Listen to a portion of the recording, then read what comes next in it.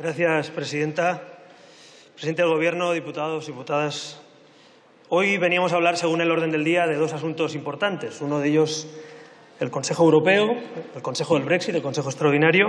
Y segundo, la posición de España respecto a la venta de armas a países como Arabia Saudí. Yo no voy a evitar estos dos debates, yo sí voy a hablar de estos dos asuntos porque creo que son dos asuntos muy importantes y, por tanto, tenemos otras ocasiones de discutir, debatir, criticar, gritar, pero yo creo que hoy toca hablar de Europa, hoy toca hablar del futuro de España y hoy toca hablar de derechos humanos. En primer lugar, respecto al Consejo Europeo, evidentemente, eh, señor Sánchez, vamos a estar de acuerdo en los fundamentos de la Unión Europea, pero usted en este asunto y en el asunto de las armas, aquí nos ha venido a posicionar una posición común, pero un lugar común, no una posición común, que no es exactamente lo mismo. Respecto a las armas, que es el primer asunto que quería tratar, mire, yo se lo voy a decir así de claro, para que nuestra posición sí quede clara en esta Cámara. Hay que respetar los contratos vigentes y hay que respetar y defender los derechos humanos. Claro que sí. Las dos cosas son compatibles. No hay que esquivar ese debate. La Carta de Derechos Humanos no es un capricho. Está en el artículo 10 de nuestra Constitución. Nuestra Constitución es de las más modernas del mundo porque asume que la Carta de Derechos Humanos es derecho nacional y asume que se interpretan los derechos conforme a esa Carta. Por tanto, ¿cómo vamos a venir aquí, aunque estemos en la oposición, y no asumir esa Carta de Derechos Humanos? ¿Cómo vamos a evitar un, debate de derechos humanos? Yo creo que es necesario. Lo que pasa es que los derechos humanos, señor Sánchez, no van por barrios. Precisamente por eso son humanos porque son mundiales, porque son globales. Y de eso quiero hablar hoy. Yo le digo claramente que nosotros no vamos a participar de sus socios populistas ni de lo que dijo la ministra de Defensa. Déjeme decir, señor Sánchez, que usted mató políticamente a la señora Robles. La mató políticamente. Cada vez que hable la ministra de Defensa no va a tener ninguna credibilidad, porque la ministra de Defensa dijo que había que derogar unos contratos y usted salió unos días después a decir que había que cumplir los contratos. ¿En qué quedamos? ¿En lo que dijo la ministra Robles o en lo que dijo usted? Y si la ministra Robles dijo lo contrario de lo que piensa el Gobierno, ¿qué hace sentada en esa silla? Yo le pregunto, señor Sánchez.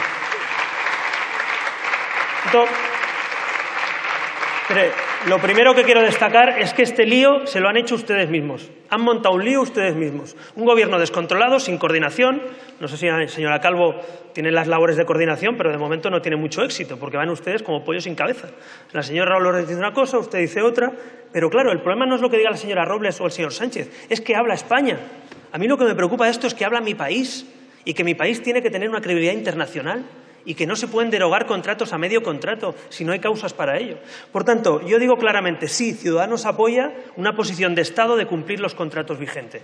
Pero le digo una cosa, señor Sánchez, hay que replantearse también qué hacemos en un futuro. Porque creo que el debate de hoy era ese. ¿Qué hacemos en un futuro en la venta de armas? ¿Miramos hacia otro lado si se violan derechos humanos?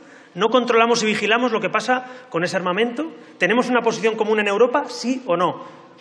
Francia ha tomado posición, Alemania está tomando posición paralizando esas ventas.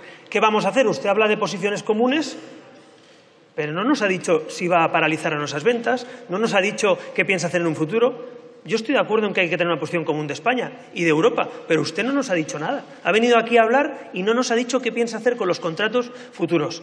Ya le digo que, hay unos linces de la economía, que son sus socios de Podemos, que tienen una magnífica idea. Ayer decía Podemos que la mejor solución era que esas corbetas o esas bombas o ese material armamentístico que en vez de vendérselo a Arabia Saudí, que nos lo quedemos nosotros, que lo paguemos en los presupuestos, así, así va Podemos, esta es su economía, que carguemos a los presupuestos los productos que hay que vender a terceros. Menuda idea más brillante, ¿cómo no se nos había ocurrido que lo mejor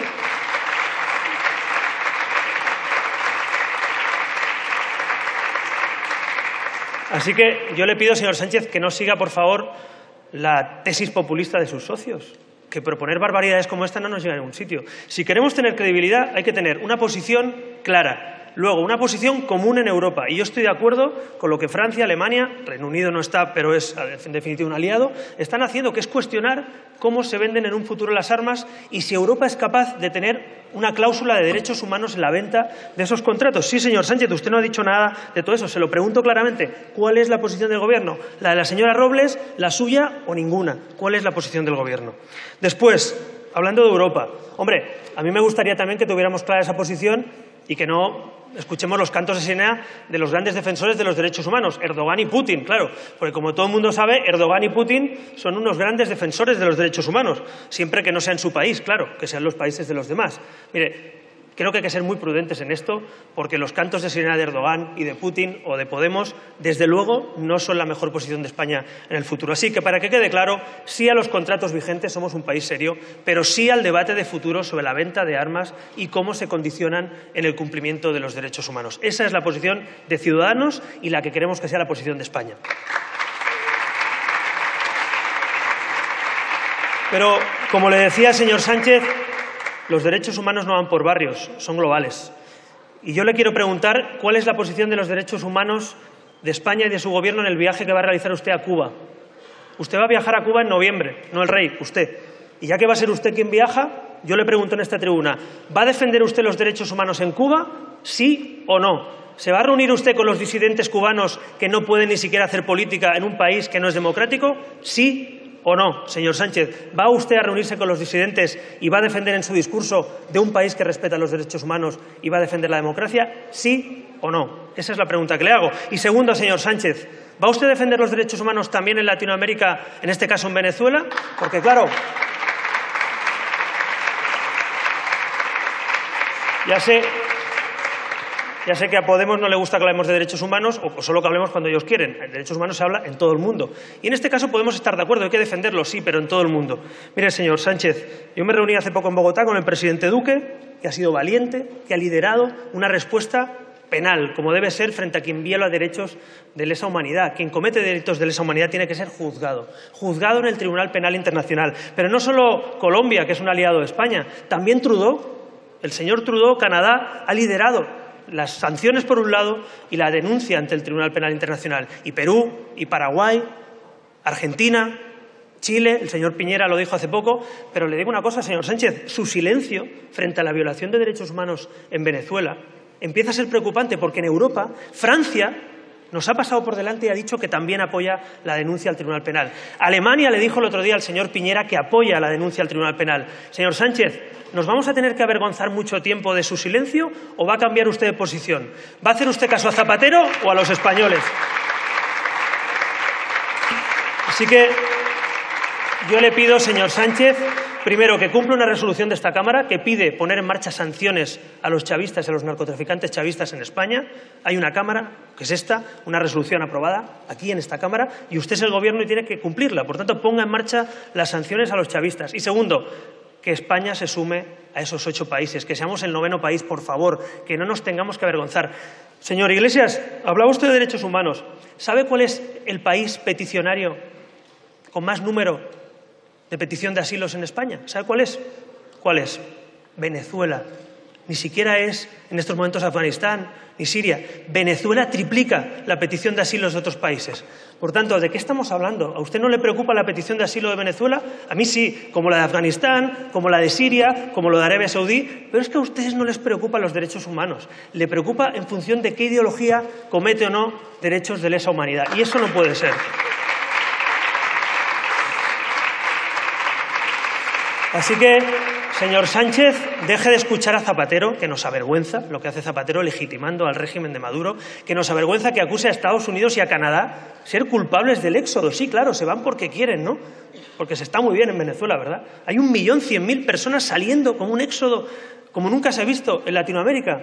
En Colombia están recibiendo a más de un millón de personas. Pero el señor Sánchez, sus socios Iglesias y el señor Zapatero le aconsejan que no haga nada y que pida diálogo a los que tiran a señores de un décimo piso después de torturarles.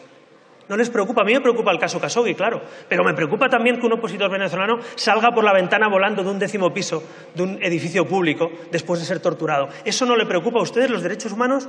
Eh, como les digo, ¿va por barrios, por ideologías o nos preocupan todos? Bueno, pues más valentía, señor Sánchez, menos escuchar a Zapatero y más escuchar a la oposición democrática en Venezuela. Segunda parte de esta intervención del Consejo Europeo. Mire, señor Sánchez, el Brexit ha dicho usted que es un drama, sin duda. Estoy de acuerdo, es un drama, pero algunos han sido partícipes del drama y algunos con errores garrafales han cometido el error seguramente mayor que se ha cometido en Reino Unido en el último siglo, que es salir de la Unión Europea. ¿Sabe por qué? Porque hubo un presidente, en este caso un primer ministro, Cameron, que quiso copiar el discurso de los populistas, que quiso asumir el discurso de los que querían separar a Reino Unido de Europa. Y usted puede cometer el mismo error, señor Sánchez. Porque le digo una cosa, en Europa, usted sabe cómo gobernamos en Europa. En Europa gobernamos en una alianza entre europeístas, socialistas, liberales y conservadores. No gobernamos con los populistas, no gobernamos con Le Pen, ni con Siriza, ni con Podemos, gobernamos los socialistas, los liberales y los conservadores. Y yo me pregunto, señor Sánchez, si el futuro de Europa pasa por una alianza de socialistas, o lo que queden de los socialistas, liberales y conservadores, ¿por qué usted en España trabaja de la mano de los que quieren liquidar Europa? ¿Por qué usted está de la mano de los hermanos de sangre de Salvini? Convergencia.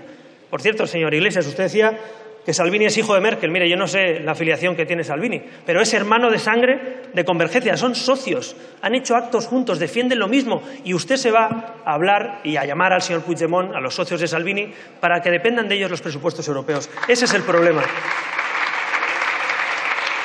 ¿Sabe, señor Sánchez, señor Iglesias, ¿saben cuál era el eslogan de la Liga Norte, de los de Salvini? Roma ladrona. ¿Les suena Roma ladrona? España nos roba, ¿les suena? Hermanos de sangre. Ustedes están gobernando con los hermanos de Salvini en vez de gobernar con los liberales, con los conservadores, con los socialdemócratas que defendemos un proyecto común europeo. Así que, señor Sánchez, Europa no necesita inventos y que España esté en manos de los populistas y los nacionalistas. Europa necesita combatir al populismo y al nacionalismo. Decía Juncker, el que le dio la palmadita al otro día en la espalda para que no hablara, Decía Juncker en Salamanca, en el aniversario de nuestra universidad, decía que el veneno de Europa es el nacionalismo. Yo suscribo las palabras de Juncker, pero usted en vez de hacerle caso a Juncker le hace caso a Iglesias. Y en vez de hacerle caso a, a, Tajani le hace caso a los socios de Salvini. Y nosotros creemos que lo que dice Tajani, Juncker o Tusk está bastante más en sintonía con lo que debe hacer, hacer España. Señor Sánchez, usted para estar un cuarto de hora más en la Moncloa es capaz de aliarse con los enemigos de Europa con los que quieren liquidar Europa. El señor Iglesias llevaba en su programa electoral, las últimas europeas, eh, por ejemplo, acabar con el pacto del euro. Oiga, ¿de verdad usted cree que acabar con el pacto del euro es la solución? ¿O hay que reforzar los mecanismos de cooperación? ¿O hay que tener una política fiscal, fiscal, común? ¿De verdad usted cree que lo que dice el señor Iglesias es lo que tenemos que hacer en Europa? Pues yo no lo creo. Yo creo que va usted por mal camino. Y yo le pido, señor Sánchez, ya sé que usted no va a rectificar, porque usted por ser presidente a cualquier precio es capaz de cualquier cosa. Pero me dirijo al Partido Socialista ya no al, no al sanchismo, al Partido Socialista. Hay muchos socialistas proeuropeos, muchos socialistas que defienden esa alianza en Europa, muchos socialistas que han sido apartados por el señor Sánchez, pero que defienden una alianza con liberales y conservadores. Ese es el futuro de España, señor Sánchez. El futuro de España no pasa por el sanchismo, que es esa corriente de opinión que es básicamente no tener ninguna idea, pero pactar con aquellos que le dan a usted el poder. Yo creo que el sanchismo es un paréntesis negativo en la historia de España y hay que volver al constitucionalismo. Pero al constitucionalismo del siglo XXI, un constitucionalismo moderno, europeísta, que sume y que no divida a los españoles, como hemos visto en este debate, en la vieja izquierda o la vieja derecha. Mire, esos son debates del siglo XX, están superados. En Europa el debate no es quién grita más, en Europa el debate es quién es proteccionista y quién está a favor del libre comercio. El debate en Europa es sociedad abierta, sociedad cerrada. El debate en Europa es reformas o no reformas. Ese es el debate europeo. Y usted, señor Sánchez, en Europa no está haciendo ese papel. Y no lo está haciendo porque lleva ustedes, por ejemplo, lleva usted un papel que es mentira, básicamente es mentira. Usted en menos de 24 horas envió un documento a Bruselas que quedó desacreditado por su propia respuesta que me dio en la última sesión de control. Envió un documento a Bruselas con una senda de déficit del 1,8, que es mentira, que no está aprobada en esta Cámara, y al día siguiente dice usted que hay que cumplir efectivamente lo que dice esta Cámara, que es el 1,3. ¿Qué credibilidad tiene España y en qué lugar deja usted a España cuando en 24 horas se rectifica usted mismo? Y no solo se rectifica usted mismo, es que han vuelto a rectificar. Eh, la ministra de Hacienda decía aquello de chiqui, 1.200 millones no son nada. Pero sí, chiqui, 1.200 millones son mucho. Y los 10.000 que dejen ustedes de agujeros también. Porque ya sé, ya sé que ustedes, señora ministra, están acostumbrados a desviarse el déficit y no pasa nada. El problema es que la credibilidad de Europa, sí, señora ministra, ustedes lo han hecho. Sí, sí, Zapatero dijo que dejó, hombre, sí lo han hecho. Zapatero dijo que dejaba un seis puntos de déficit y dejó nueve puntos, con un par, nueve puntos a España. Sí, sí, sí. Lo saben ustedes, mintieron a Europa, sí. Así que, mire, durante una década, durante una década, los gobiernos de Zapatero y los gobiernos de Rajoy nunca cumplieron la senda de déficit pactada. Nunca. Solo ha habido un año. Un año, el 2017, en el que hubo un acuerdo sin mayoría del Partido Popular y un acuerdo en esta Cámara de unos presupuestos que son los primeros en una década que cumplen los presupuestos que pactamos ciudadanos con el Gobierno del Partido Popular. Y esa es la senda, cumplir, cumplir y cumplir. ¿Saben por qué? Porque no se puede ir a Europa con estas credenciales. Ir a Europa con un pacto de la cárcel. Oiga, el pacto de la cárcel no es la mejor credencial para liderar Europa. Tenemos una gran oportunidad, señor Sánchez. El eje franco-alemán necesita apoyo, ayuda y un tercer país. ¿Por qué? Porque el Reino Unido está fuera y porque Italia está en manos de los socios de convergencia. Y, por tanto, necesitan una España fuerte. Pero una España fuerte, señor Sánchez, no puede estar en manos de los que quieren salir del euro, como el señor Iglesias. No puede estar en manos de los que dicen eh, que Europa hay que destruirla, como los señores de convergencia o de Esquerra. Tiene que estar en manos de los que creemos en Europa. Por eso, señor Sánchez, yo sé que usted no va a rectificar. Todo el que le asegure seguir unos días más en la Moncloa, usted va a seguir adelante. Pero el Partido Socialista sí que para mí es un partido que necesita en un futuro cambiar el rumbo. Cuando el Partido Socialista vuelva al constitucionalismo, les esperaremos. Cuando los socialistas vuelvan al europeísmo, les esperaremos. Cuando ustedes abandonen los pactos con los nacionalistas y los populistas, les esperaremos. Mientras, vamos a construir una alternativa constitucionalista y europeísta en España. Eso es lo que vamos a hacer, señora Calvo. Sí, eso es lo que vamos a hacer. Ya sé que usted no cree en Europa ni en España, cree en pactar con los separatistas y los populistas. En todo caso, mentir a los españoles, señor Sánchez, no es una buena idea. Mentir a sus socios europeos tampoco. No porque usted no tenga credibilidad, que no la tiene. Por España, a mí me importa mi país, me importa que cuando un presidente miente a Europa, miente mi país. Y cuando usted miente en esos papeles, miente en nombre de España. Y yo no quiero que mi país mienta a Europa, quiero ser un socio fiable y un líder, en este caso como país, España, de la Unión Europea. Señor Sánchez, tener la mayor tasa de abandono escolar de Europa no es una buena credencial. Y eso es lo que han hecho ustedes el bipartidismo durante 40 años. Una mala educación, una educación en los peores niveles de Europa. Tener un mercado laboral que lleva al mayor paro de Europa, como el que el Partido Socialista y el Partido Popular han llevado, no es la mejor credencial. Ustedes pueden fingir aquí una batalla del siglo XX, gritando e insultándose, pero la realidad es que el siglo XXI espera otras cosas, señor Sánchez.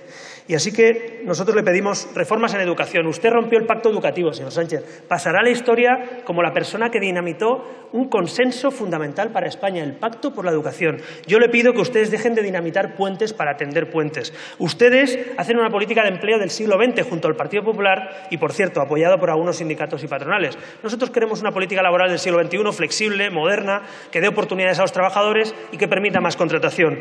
Ustedes han recortado, igual que el Partido Popular, en la innovación, por cierto, haciendo trampas también en las partidas de innovación, como hacía el señor Rajoy o el señor Casado desde el Gobierno del Partido Popular. Por tanto, señor Sánchez, más educación, mejor empleo, más innovación y menos pactos con los populistas y los nacionalistas.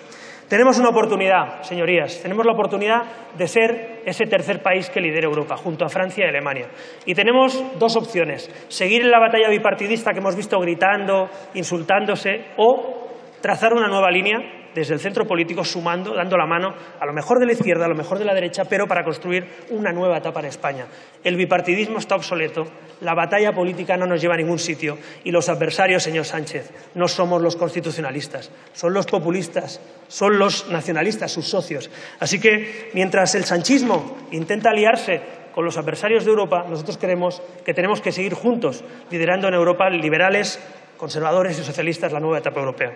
Señor Sánchez, estos presupuestos no solo son mentiras, es que son malos para España.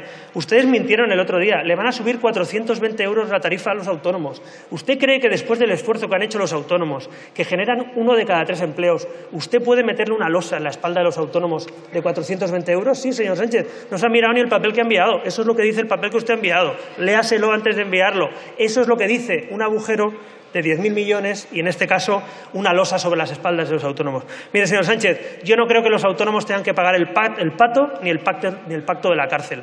Yo no creo que los conductores de diésel sean ricos, como usted dice. Yo creo que son trabajadores, gente de clase media, pues que necesita el coche pues para ir a trabajar, para llevar a su hijo al colegio. A eso les va a meter usted un sablazo.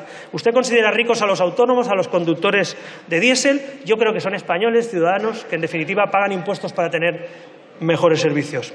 Para finalizar, señor Sánchez, Europa necesita libre comercio, no gente como usted que ponga trabas al libre comercio. Europa necesita acuerdos entre liberales, conservadores y socialistas, no acuerdos con los populistas y los nacionalistas. Europa necesita posiciones comunes, sí, en defensa de los derechos humanos, pero una posición clara y nítida. Silencio. Silencio. Por tanto, después de 40 años, después de este debate agotado del siglo XX, en Europa el debate ya no es si eres socialista o conservador. El debate es si eres más europeísta o menos, si eres o no favorable al libre comercio, si eres o no favorable a la sociedad abierta. La Europa del futuro pasa por una alianza entre nosotros, entre aquellos que defendemos la Constitución y aquellos que defendemos Europa. Si venimos a tirarnos los platos por la cabeza, como hemos visto entre el señor Casado y el señor Sánchez, no avanzaremos. Los españoles esperan soluciones y acuerdos. Y, por tanto, ciudadanos, entre la batalla en el barro preferimos pensar en Europa, en los europeos y los españoles, e intentar llegar a acuerdos. Mientras el sanchismo abandone el constitucionalismo, lideraremos también para mucha gente que ha votado al Partido Socialista, que hoy, como estamos viendo en Andalucía, se desencanta con el Partido Socialista. Hay muchos socialistas que sí creen en esa política. Pero, señor Sánchez, de verdad, ¿no cree usted que en vez de pasar por esta fatiga de tener que acordar en una cárcel con los populistas y los separatistas, en vez de tener que subir los impuestos, machacar a los autónomos, ¿se le ha pasado a usted por la cabeza a lo mejor convocar elecciones? Le pregunto.